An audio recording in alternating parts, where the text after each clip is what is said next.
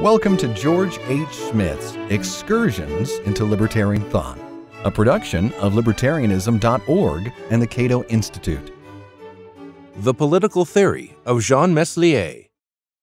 In his lengthy article, Jean Meslier and the Gentle Inclination of Nature, the French philosopher Michel Onfray characterized Meslier as atheist, dechristianizer, anarchist, communist, materialist, internationalist, revolutionary, and leftist. That is quite a bundle of labels, and given Onfray's widely acknowledged expertise on Meslier, it is risky to challenge his judgments about the atheist priest. But Onfray is himself a left anarchist, and in my judgment, he occasionally succumbs to the natural tendency to find heroic precursors to his own views, even when that involves reading more into a text than is actually there. Onfray is aware of this tendency, as is evident from his observation. In 1919, the Bolsheviks engrave his name on an obelisk in Moscow. Meslier becomes a precursor enrolled in the Soviet adventure.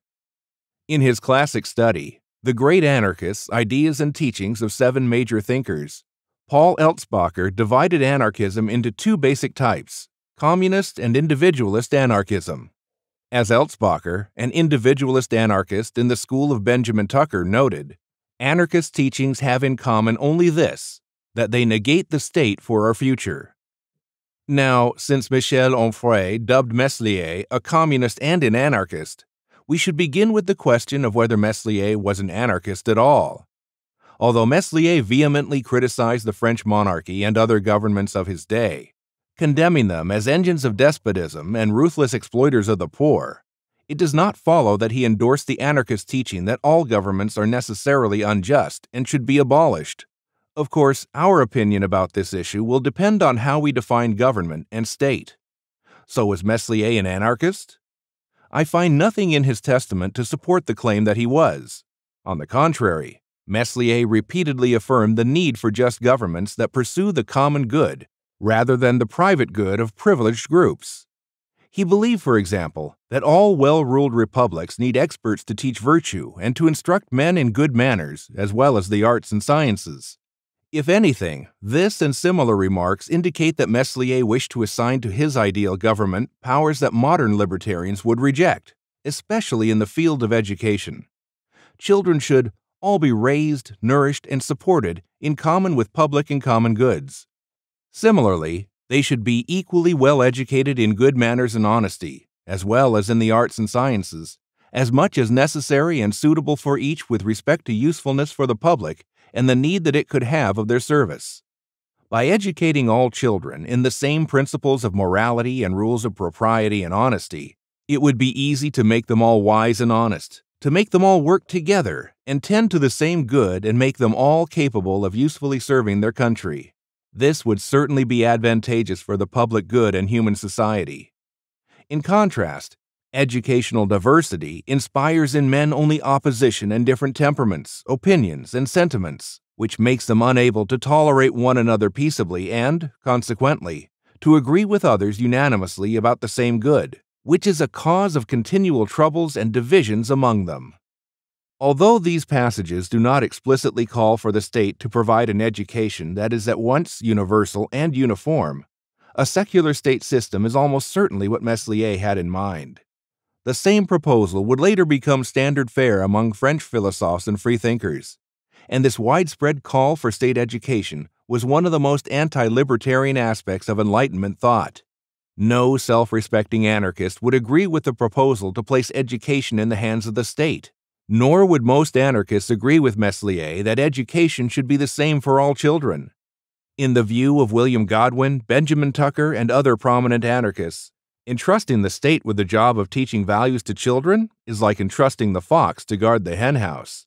As Godwin put it in Inquiry Concerning Political Justice, 3rd edition, 1797, government will not fail to employ education to strengthen its hands and perpetuate its institutions. Elsewhere in the Testament, Meslier clearly expressed his belief that an orderly society requires some measure of political authority. All men are equal by nature. They all hold equally the right to live and to walk upon the earth, the right to enjoy their natural liberty, and to share in the goods of the land, with everyone working usefully to have the things that are necessary and useful in life. But since they live in society, and since a society or community of men cannot be ruled well or sustained in good order without some kind of dependence and subordination between them, it is absolutely for the good of human society that there be some kind of dependence and subordination among them. That is the language of a defender of government, not the language of an anarchist. Meslier demanded only that a government be just and well proportioned, i.e., that it should not exalt some and debase others, flatter some and trample others, give to some and leave nothing for others. Similar statements recur throughout the Testament, so how Michel Onfray reached the conclusion that Meslier was an anarchist remains a puzzle to me. Let us now turn to the question of whether Meslier, if not an anarchist, was a communist of some kind. Before proceeding, however, I should point out that the Testament, written over a period of 10 years while Meslier was in his 50s, is disorganized and repetitive, and it sometimes substitutes over the top polemicism for reasoned arguments. Meslier apologized for some of these flaws, explaining that he wrote the Testament in bits and pieces when he could find free time from his priestly duties. In some respects, therefore, the Testament resembles an intellectual journal more than a polished manuscript. As a result, even careful readers are bound to feel frustrated when attempting to understand Meslier's position on some important controversies. We should keep this difficulty in mind while exploring the issue of whether communism is an appropriate label for Meslier's ideas about property. Communism is a highly charged label, one brimming with negative connotations. But if we strip the term down to bare essentials and use it to signify only the doctrine that all or most goods should be the common property of society rather than individually owned, then there may be some justification in dubbing Meslier a communist.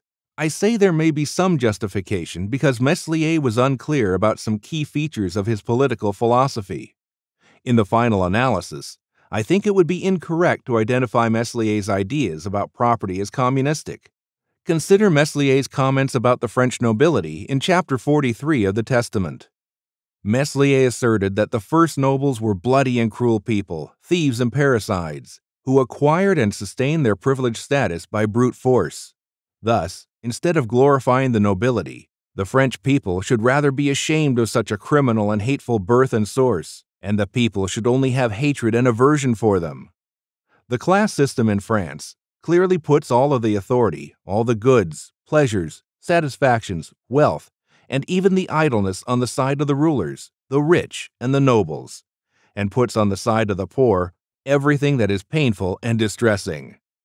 Note that Meslier condemns the rich, along with rulers and nobles, as exploiters of the poor. How should this inclusion be understood? Should we interpret Meslier to mean that wealth, per se, can only be acquired at the expense of the poor? Modern socialists and communists would probably favor that economic interpretation, since it would corroborate their own belief in economic exploitation and class struggle. More plausible, in my judgment, would be to understand Meslier as condemning only those people who acquired their wealth by the political means of state coercion. My interpretation, if correct, would mean that Meslier did not object to wealth obtained through voluntary market transactions. Rather, his targets were those state functionaries who became rich by plundering the public via taxes and tithes along with those merchants and manufacturers who benefited from state granted monopolies and other privileges. The rich are mentioned again in this passage from the same paragraph. The disproportion is all the more unjust and detestable for the people since it makes them entirely dependent on the nobles and the rich, and it makes them, so to speak, their slaves, to the point of making them suffer not only their put down, scorn, and abuse, but also their persecution, injustice, and mistreatment. Again, we must ask what did Meslier mean by the rich? In the course of explaining his position, Meslier quoted the following passage from another writer, the anonymous author of a book titled Letters Writ by a Turkish Spy. There is nothing so vile and so abject, nothing so poor and despicable, as the peasantry of France. Moreover, they work only for the rulers and the nobles, and with all their work they still have great trouble to earn enough bread for themselves. In a word, the peasants are absolutely the slaves of the rulers and nobles, whose lands they give value to and from whom they rent their farms. They are no less oppressed by the public taxes and the salt taxes than by the individual burdens that their masters impose on them, without even considering what the clergy unjustly demand of these poor unfortunates. Here, the exploiting class is expressly identified as those who make money from the coercive mechanism of government. Thus, given Meslier's scathing denunciations of taxes, it is reasonable to conclude that his condemnation of the rich pertains specifically to those members of the ruling class who acquired their wealth through taxes, tithes, and other governmental revenues coercively extracted from the ruled. But Meslier never explicitly distinguished between the economic and political means of acquiring wealth, so a certain amount of guesswork is required to reach this conclusion. On the other side of the ledger, we have Meslier's criticisms of private property. For example, we see his approval of Blaise Pascal's contention that the usurpation of all lands and the evils that ensued came only from the fact that each individual wanted to appropriate for himself the things that should have been left in common. Likewise, the divine Plato banished from his utopia the words mine and thine, judging rightly that so long as there was something to divvy up, there would always be dissatisfaction, which breeds troubles, divisions, wars, and lawsuits. Elsewhere in the Testament, Meslier wrote in brief if all the goods were wisely governed and dispensed, no one would have to fear drought or poverty for themselves or their families, since all the goods and riches would exist equally for everyone, which would certainly be the greatest good and happiness that could happen to men. The key question about such passages, which recur at various places in the Testament, is whether Meslier thought that the economic equality he desired should be brought about by voluntary means or whether such equality should be coercively imposed by government.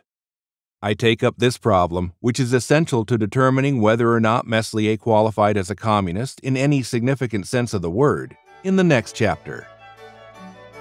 This has been Excursions into Libertarian Thought, a production of libertarianism.org and the Cato Institute. To learn more about libertarian philosophy and history, visit www.libertarianism.org.